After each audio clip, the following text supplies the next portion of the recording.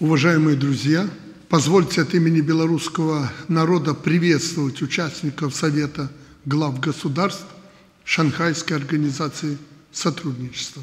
Надеюсь, что следующее заседание мы сможем провести в очном формате. Вроде бы и пандемия закончилась.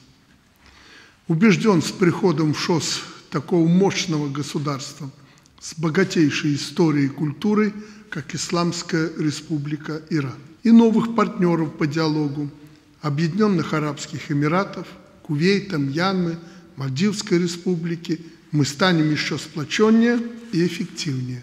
Уверен, при поддержке всех стран-членов Беларусь в ближайшее время также присоединится в качестве полноправного участника Шанхайской организации сотрудничества. Мы соответствующую работу провели и признательны тем, кто нас в этом поддерживает. Тема нашего саммита «На пути к безопасному ШОС». Она крайне актуальна в условиях углубляющегося кризиса международных отношений.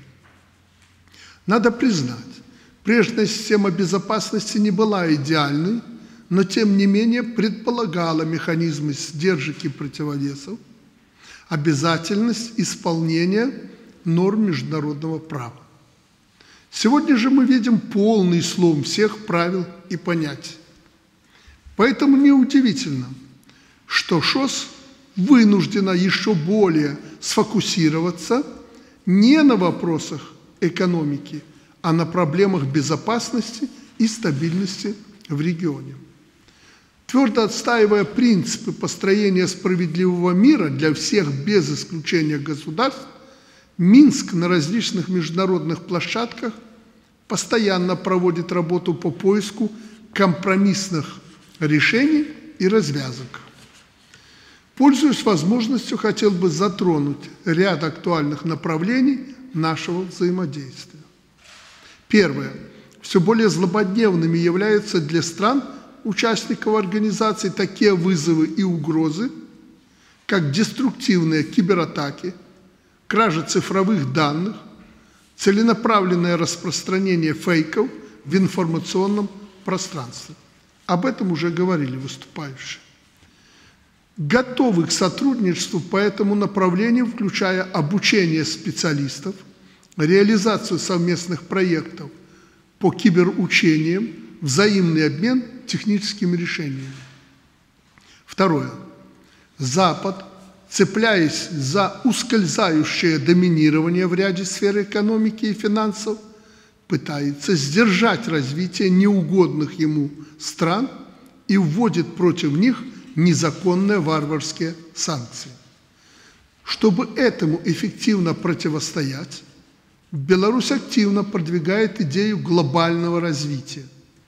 Последовательно выступаем как за создание большого евразийского партнерства со странами, с которыми у нас уже сложились тесные отношения Китайской Народной Республикой, Индией, Пакистаном, Ираном, нашими партнерами СНГ, так и сопряжение форматов Евразийского экономического союза, ШОС и БРИКС – в широком контексте.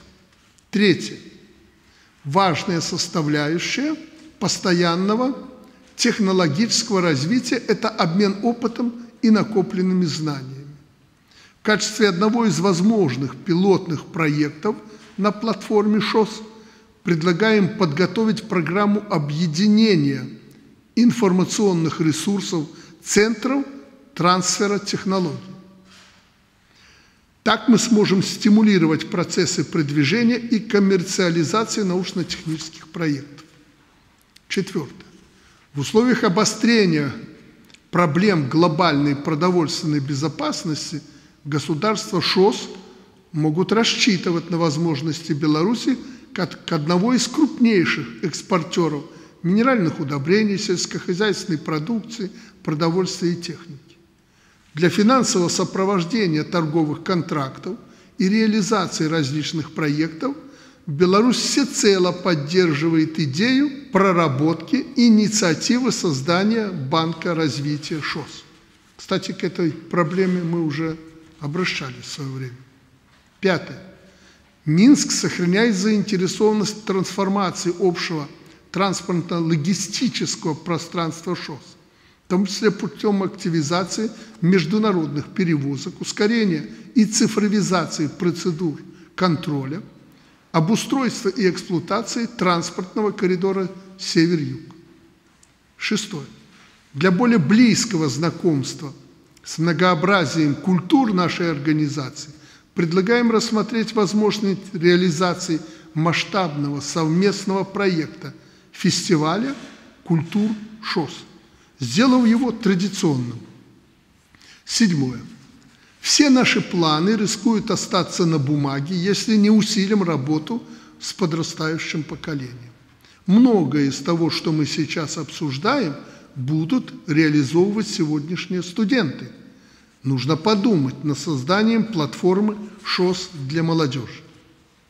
Уважаемые коллеги, завершая свое выступление, хочу поздравить Астану с принятием председательства Шанхайской организации сотрудничества. Не сомневаюсь, что под председательством Казахстана – ШОС получит новый импульс в своем развитии. Благодарю вас за внимание.